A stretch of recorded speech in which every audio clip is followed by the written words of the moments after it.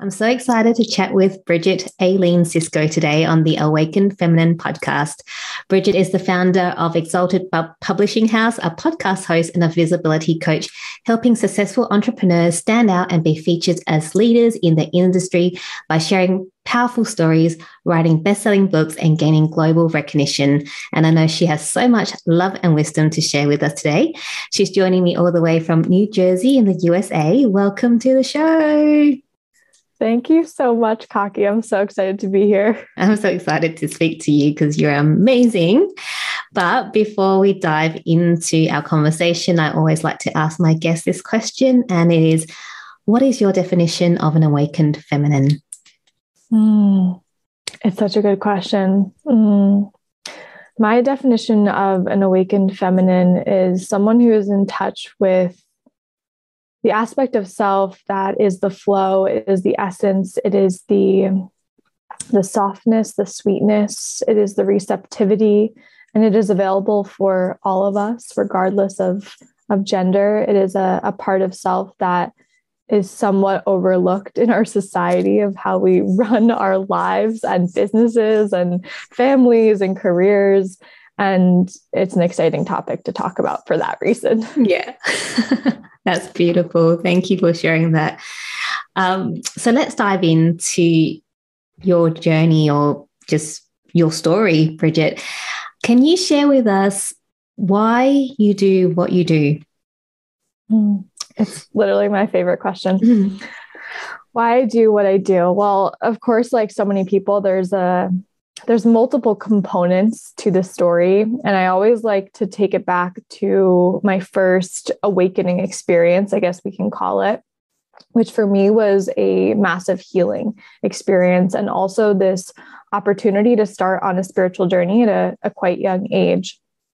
So, you know, I was in my teenage years and started having a lot of health issues and going to doctors after doctor after doctor with no definitive answer of what this was. And finally, I went to a specialist who said this is Lyme disease, and it tends to show up and manifest in people's bodies in really, really different ways. And doctors have a really challenging time to define this.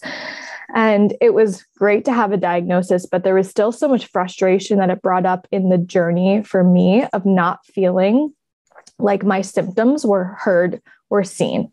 So a seed was planted at a very young age when I went to a doctor's office, I brought all of my medical history because I started to connect the dots. Everything in the body is interrelated. And he didn't look at it. He didn't care to see of something that I felt was really important in this like mystery diagnosis, you know, journey. Mm-hmm. And there was a seed planted at that time that literally said, voices matter, your voice matters, and you're going to help people share their voice. Now, obviously, at the time, I wasn't like, I'm going to do this with women from all over the world. it was just one of those little seeds that was there in the beginning. And I'd say that coupled with, as I ventured out deeper on a spiritual journey and started to feel different from those around me in the high school, college, after college years, I felt very alone. And this led me to become a yoga teacher, to study Ayurveda, to beginning hosting women's circles, and to find this love of hosting and bringing people together. So, part of what I do now is literally bring people together from all over the world, inspire them to share their story, inspire them to use their voice and speak and feel seen and feel heard. And those are some of the most pivotal moments in my life of why this matters. Yes, and very profound. Can I ask you how old you were when you went to the doctor's office and he just did not want to listen to what you had to say? Yeah, um, I was in the range of 13 to 17. And I know that sounds like a big period, but I was dealing with these things like for so many years. And what's important about that age range is it's when you're trying to define like sense of self, like you're mm trying to figure out the world and people around you and relationship to people and things around you. It was a confusing time to have that that health experience. Mm. Can I ask you? You were saying that you were you felt quite different to your peers as you were going going through this period as well, having not feeling well with Lyme disease and working through that. How then did you what what was different about you to your peers? Because like you were saying at that age it's very much about finding you know who you are and how you fit into the world and society and everyone around you.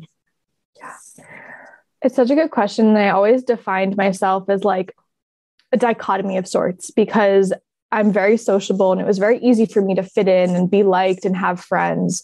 But then there was this other part of me that knew about holistic healing, that understood that our purpose on this planet wasn't just to go to college, have a job, and go through that cycle.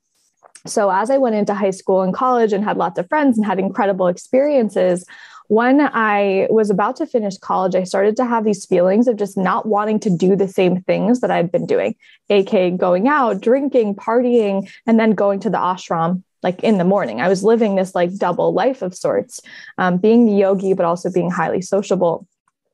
And there came a point where I was like, I don't want to. I don't want to just fit in that way anymore. So I began to seek out podcasts, books, other types of communities, like going to this ashram where people were on a spiritual journey, much older than I, but it didn't matter at that point. I just wanted to be part of something that, um, in a space where people understood me a little bit better. Mm. You were saying that you felt alone. Was it because you were living this double life it, that you felt alone, even though you were quite sociable? Isn't it funny how yeah. we use these words, even though on the outside it, it would look like that? Um, yeah, the time where I, I really started to feel alone was when I started to deepen onto my spiritual journey. You know, I had started started reading like The Universe Has Your Back, listening to all these spiritual podcasts and my friendships around me, some of them were really strong and they supported me for this, but many of them didn't understand that part of me. And to no issue of their own. It was just we were beginning to be on two different paths, and it was challenging to understand that not every friendship is going to go in the same exact direction as I started to kind of, you know, veer off to mm-hmm. the side, not say yes to going out at night anymore, you know, spending my mornings not hungover and instead at a yoga class. So that feeling of uh, of being alone was just as I started to veer onto this path of being a little different from from those who I'd surrounded myself with for years and years and years. Mm, I totally get that. When you go on your spiritual journey, it is quite. It can feel quite lonely because it is a very, is very sacred time for you to connect with yourself. So it's lonely in that no one else can really walk it with you. Is that the feeling? Mm. yeah, it really is so personal. And for me, I was at least just seeking people and communities who understood my language, who understood my my need and my yearning to you know journal every morning when i got up or do some inner healing work or talk about astrology and the akashic records and and not look like look at me like i have 17 heads I love that. And you started at such a young age. I mean, I didn't get started until I was, gosh, 30 something. so, you know, starting from such a young age, especially at, at that age, most people would be partying and going out and all that. So you would have had to have some very, very supportive friends to be able to, you know, see you through this time as well. So that's really cool that you know you were able to just do things your own way which is something as a society you know being we just program not to do things our way. We have to follow these set of rules. Like you said go to college get a good job and work for the rest of your life buy a house pay the mortgage. All those things that we're supposed to do to live a life that everyone else says is successful but I love that you went out to do something else. Can I ask you? So, going on to your health journey, so you had Lyme disease, and then you already knew somehow that everything was interconnected, interconnected in your body. When was that? Like, when did that click for you as a young person that it wasn't, you know, just a disease diagnosed by a doctor, but it was everything in your body, in your all your bodies connected somehow to manifest this, this disease within you? I am very, very lucky and grateful that I had a lot of support from my mom and, of course, my father on this journey too. But my mom was already attuned and open to alternative ways of healing. She had been in a, a major um, bike accident a couple years before and had been on her own, you know, healing journey because of that with mindset, with food, with nutrition. So I had some seeds planted um, at quite a young age. And she was the one who would bring me to all the doctors. She would bring me to the chiropractors, the acupuncturists, the specialists, because she too actually experienced Lyme disease, as many other people in my family did, and began to connect the dots that the antibiotics that the doctors were giving us just it, it, it wasn't getting to the root cause of the issue. So I had that seed planted. And then as my frustration grew, I started to do my own research. So you know, there I am in my teens, Googling everything, Googling how to get to the root symptom, you know, like get to the root cause, get to the root. And I found Ayurveda. Mm. Um, which was a huge, huge pivotal part of my journey. I went on to study it. I went on to, to teach workshops on Ayurveda. And what it taught me is that number one, we are all unique. We all have unique constitutions. We all have unique um, ways of being and how our systems work, and, and what's good for one might be poison for another. So that was huge. I realized it wasn't a one size fits all to anything mm-hmm. in life. And I also realized that as a society, we are highly disconnected from nature and the natural world. And that these are pivotal pieces to our makeup. However, we are not looking at them at all. So it really brought me back to connection with nature, connection with my body, connection with um, the love for myself and who I was as a unique individual. And all of those things really helped me to see that the body is all connected and what I had been told wasn't necessarily uh, supporting me in the way that I needed the support. Mm, wow. I'm just starting to learn about Ayurveda. So it's it's amazing. And um, a mutual friend of ours, Sarah, obviously, um, I think that's actually, she's the one that kind of got me interested because she was talking about, I'm like, oh, so then I started Googling. And it is very much a very holistic balance, balancing your body back in, getting your body body back into balance, isn't it?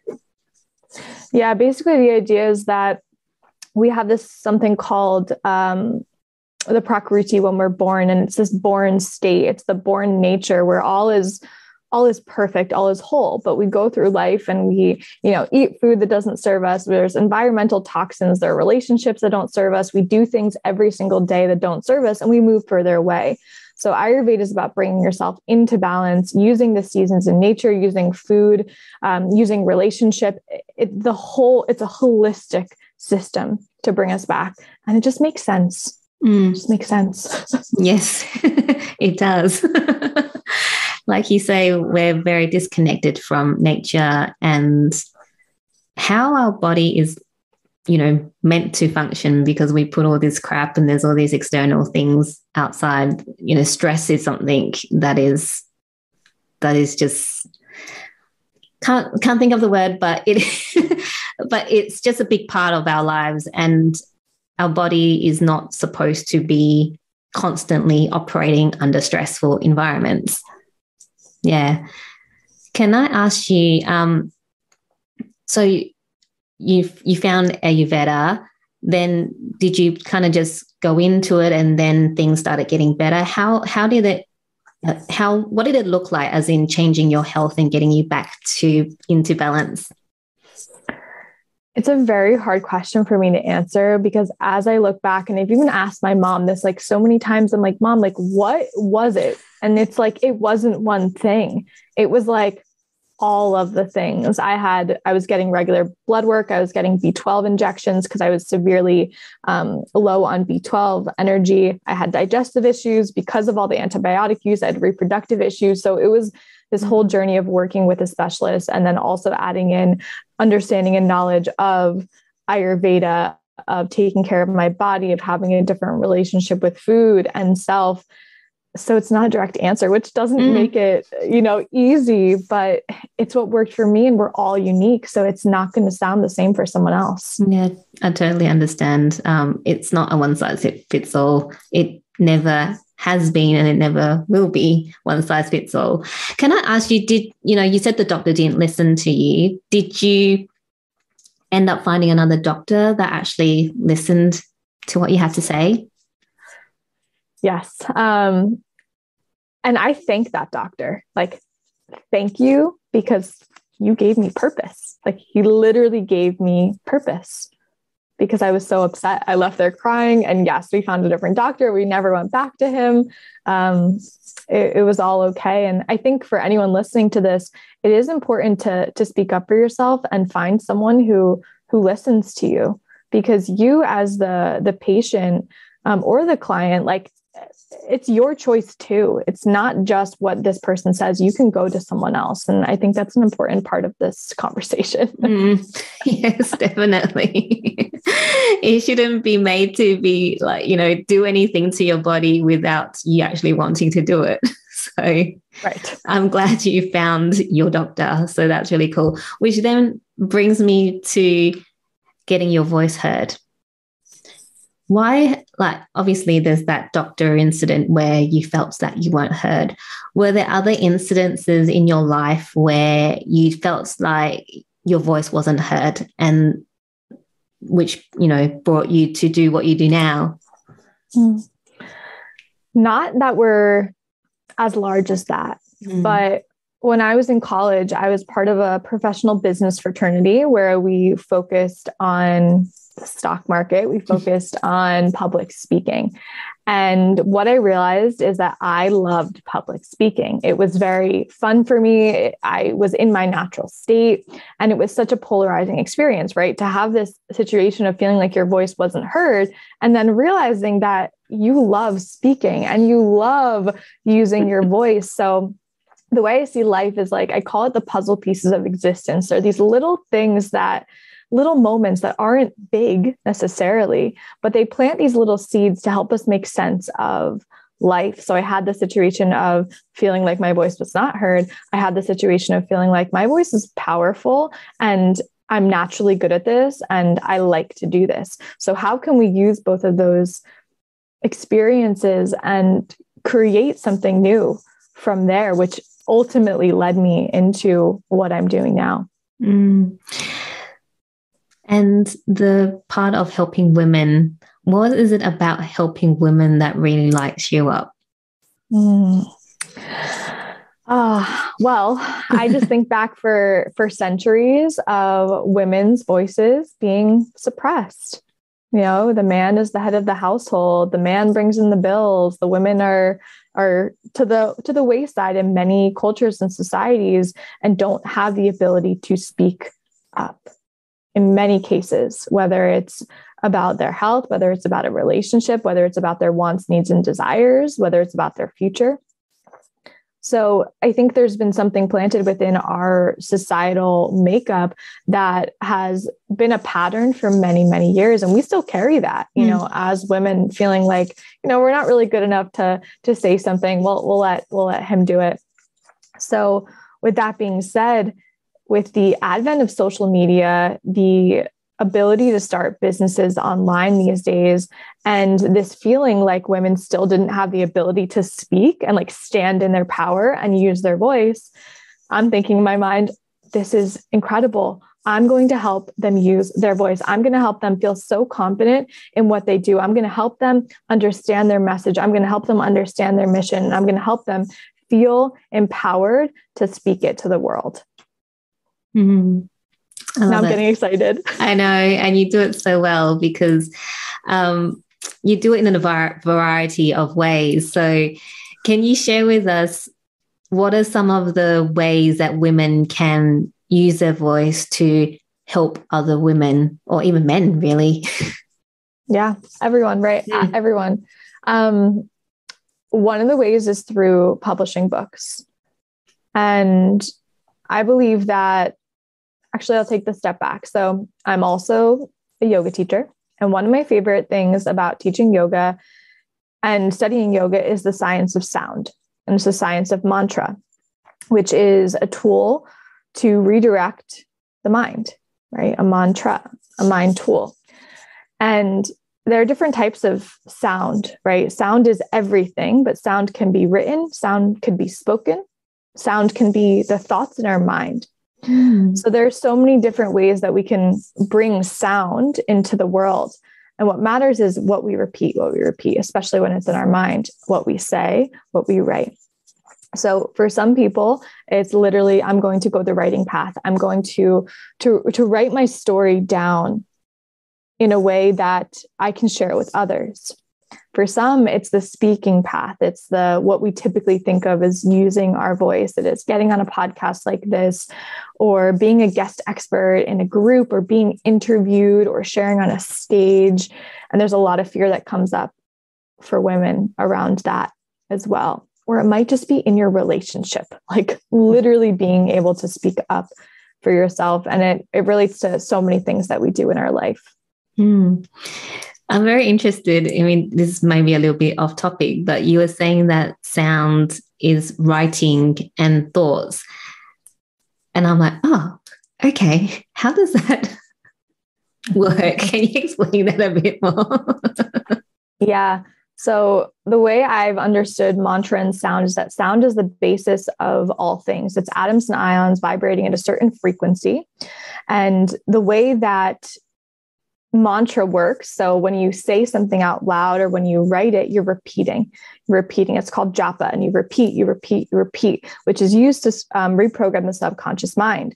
So I believe that what we continuously say to ourselves, what we continuously write about ourselves, like if we're writing "my life sucks," "my life sucks," "my life sucks," "my life sucks," if we're literally saying that as our our our narrative out to the world, that is mm. that is because sound is is creation in yeah. form whether it's in the mind whether it's written whether it's spoken so i am very discerning with the sound i allow into my space the people the relationships the conversations the books the media the news because i know it programs Mm-hmm. So when you're talking about sound in that respect, is like your I guess more mainstream is like the vibration and the frequency mm-hmm, that you mm-hmm. emit and receive. Mm-hmm. Yeah. Ah, mm-hmm, okay, mm-hmm, cool. I was just like, okay, I just had to yeah. understand it a bit more because it's like sound is, yeah, you know, mm-hmm. you most people think you hear it, but I get, I get what you mean now. That's really cool. So, um, in terms of women, oh well, people writing their stories. How have you found that to help them and help others? Like, you know, being mm. in that field, it'd be really good to just share what you've seen, the changes in the people writing and also the people on the other side reading the stories or hearing about the stories. Something that I never really thought about until I got into what I'm doing now is this the role as the the storyteller and the role as the story receiver and both are very important. Now for the storyteller there is something deeply cathartic that happens when you write. It's just like if you're journaling and maybe you're frustrated and you realize that after like a page or two of just writing it all down you've moved through something. You kind of left that beyond it and redefined your direction which is what is happening for the women who are writing in these books. I'll give you an example of the last book that we did called Lineage Speaks Women Who Carry the Torch for Future Generations. It was a lot about family, DNA, lineage, the stories, the narratives that are super embedded in the family structure from generation to generation. And I wasn't expecting this to happen. Mm. Many of them, the authors, gave the book to a parent or someone in their family and actually opened up conversation around the top the topics. Healing happened relationship repair happened things that i could have never you know expected to have occurred from it. But there's something that i almost see it as a portal. There's something that opens up when we go to write and share the story. There's healing that happens. There's this ability to say i'm not defined by my past mm. when you look at it in a different way. So that's the one perspective of like the storyteller, the healing, the clarity that can also come through when writing. The story receivers, so the people who are receiving the words, people who are receiving the the knowledge, the wisdom, the inspiration. And I always like to think of this from some of the first books that I read. It was planting a seed within me. It was opening me up to possibility. It was sparking imagination, inspiration. And most importantly, the feedback we've received from those who have read these books are it showed me what's possible. I realized I'm not alone. And I realized there are so many people that are just like me on this journey. And mm-hmm. stories surpass everything. They surpass culture, they surpass race, religion, amount of money that you make. Like stories humanize us. And that's what's so deeply healing for both parties. Mm. So beautiful. I've got full body goosebumps going on as you were talking. Um, because I mean, right now I'm in in your portal, your beautiful portal, because um, writing a new book, and it is it is very healing for the person writing it. Just you know, from my experience writing, this is my second time writing the book, so um, and a lot of resistance comes up, which is where the healing happens. is that something that's normal? Thank you for reminding um, me of that. Absolutely. It's so normal. It's so normal because we're literally bringing things up to the surface that maybe we haven't we've kind of like left them in the trunk for a little while and now they're sitting in the passenger seat with us. So we have this ability to see them and then say, okay, how do I want to define my relationship with this thing? Now that it's in my awareness, how do I want to move through it? How do I want the relay to be and how do i want to share this with others so there's this whole process that happenings happens as you write and it can be uncomfortable. It can feel very unclear at times. You can be like why the heck would i decide to do this? This is a bad idea. But then you break through and the only way out is through right? And then you break through and you have this just moment of ah mm-hmm, mm-hmm. okay. Yeah. Okay. Yeah. And it's a beautiful feeling when you get to that, uh huh, mm-hmm, mm-hmm. okay moment. yes, it is. Yes, it is. I want to ask you with, um, you know, store um, stories like you were saying, the person that receives you know the story, and how they go, "Wow, I feel, I don't feel as alone. It's planted seeds. It's you know open their eyes up. They don't feel so lonely. There's other people like me. What is you know what do you think is something that as a collective we can do to help bring more people together? Because obviously there's we are all so alike in so many ways you know, we just want to be loved. We want to love. We want to feel joy. We want to feel kindness from people. We want to feel peace and calm, you know, all the, you know, high vibrational type emotions. That's what we want to feel. Yet, you know, we're stuck in jobs we hate. We don't know who we can talk to about the toxic relationship we're in, you know, and all the other things that, uh, you know, friendships that we that are long past out the expiry date and all the other things. How can we, what, you know, this is a big topic, but yeah, what do you believe is something that we can do to just bring more people together so they can feel that, well, no, not feel, know that they're not alone and that they can, there are people like them that's walked, you know, before them, behind them, to bring them together to you know, heal even more? Such a good question. And it's a big question, but it's just. But it's something I think about a lot. Mm. And the one thing that comes to me immediately is it's okay wherever we're at right now because we also live in a society that tends to point out our differences rather than our similarities. Mm-hmm. Right. For money, for power, for greed, for ratings. And if we can have the acknowledgement of that and then take this step back and say, well, okay, they're pointing out all the differences, but what are all the similarities between me and the person across the world or me and the coworker sitting next to me?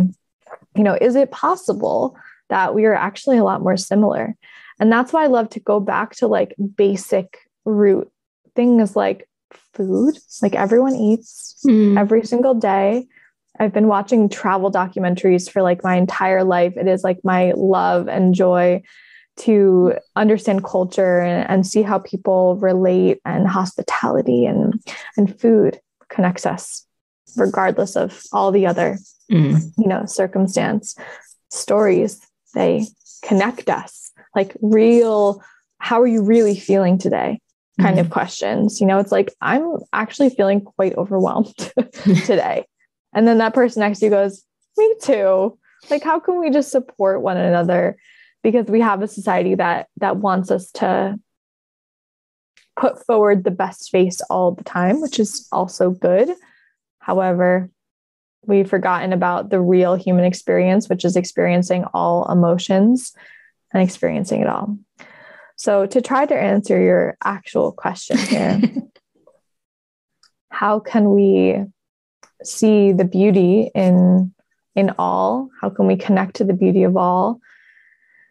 And I say coming back to simplicity of this life, and it brings me directly to nature and the planet and realizing our connectionness versus our differences. Mm. Yeah. And I think, you know, you, you say you have a lot of women's circles that you host. I know you're hosting a retreat coming up soon as well. So, you know, things like that where people can tap into other people that obviously want to find people that are like them. Right. Um, are there, you know, I'm going to ask you with your women's circles, what kind, uh, do you have different circles or are they, is it one big circle? Like, how do, how do your circles work? yeah.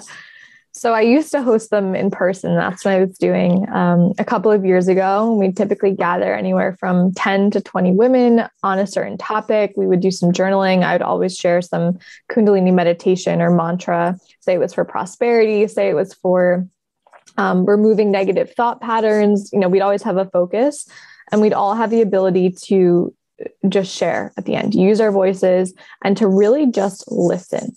Like just listen to what that person across from you is saying. So that's what that looks like. And I still do host those from time to time.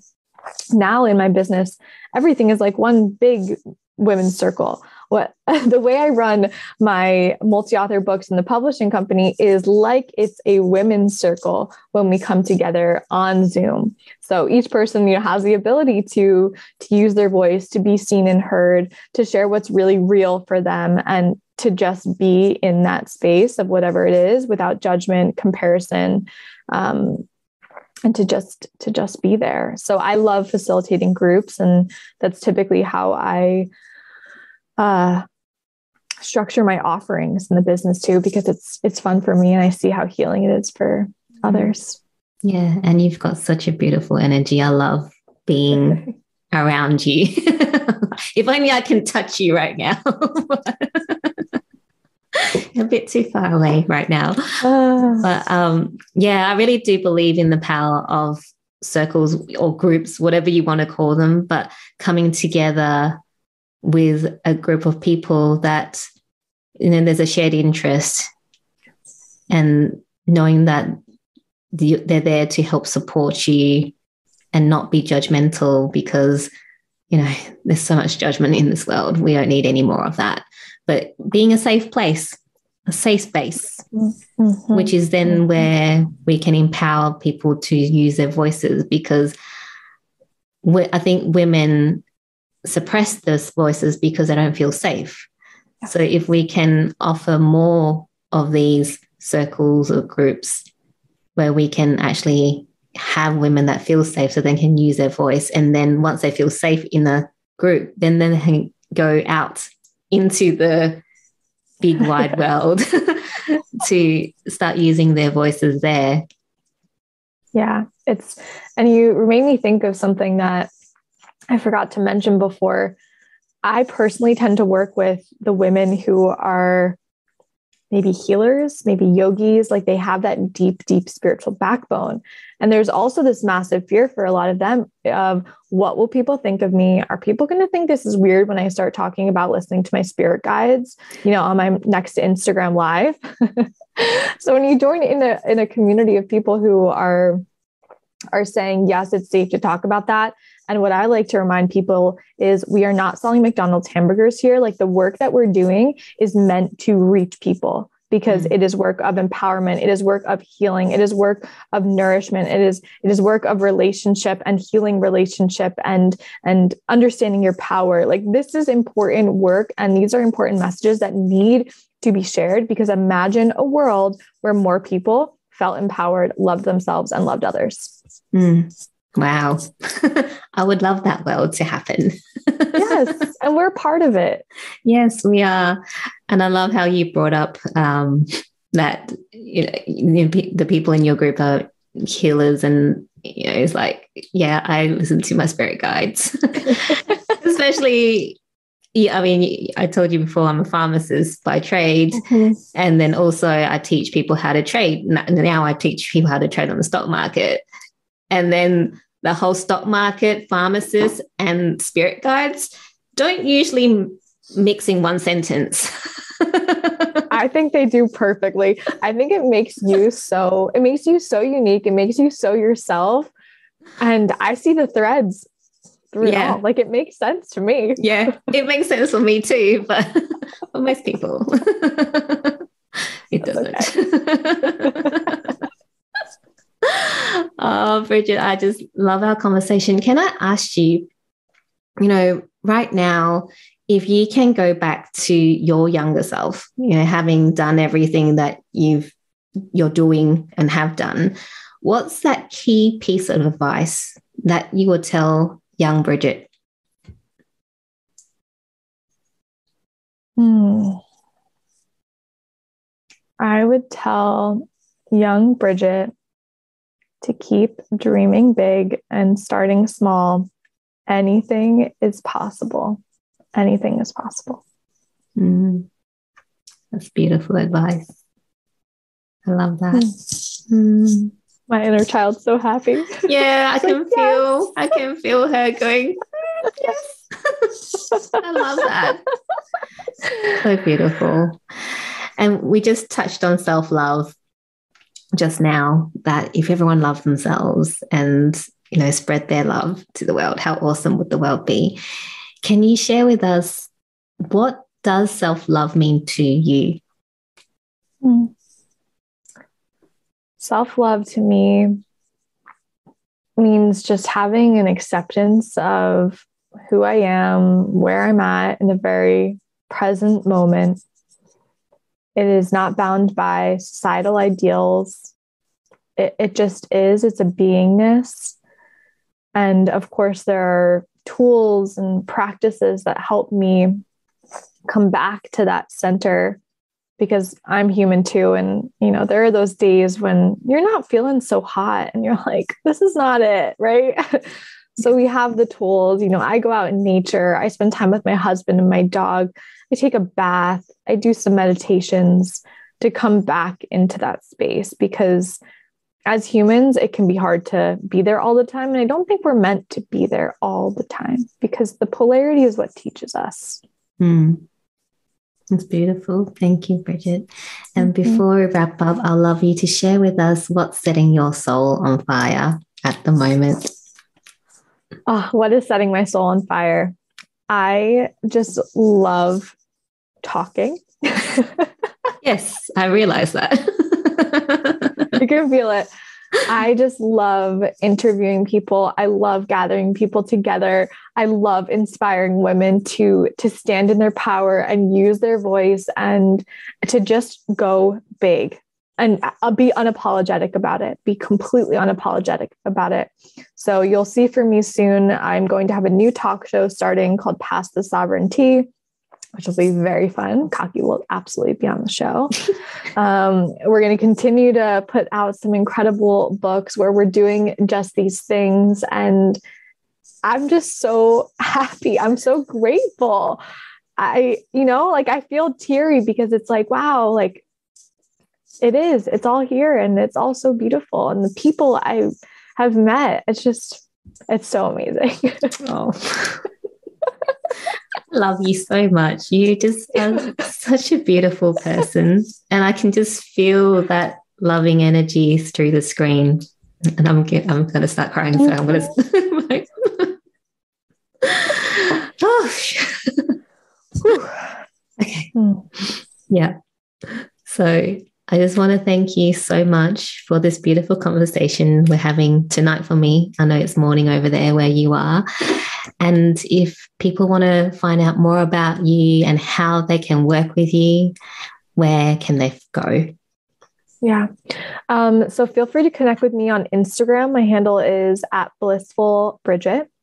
And if you want to check out some of our offerings, so whether you want to be in our next multi author books, if you want to put on your own book and write yourself, let me know.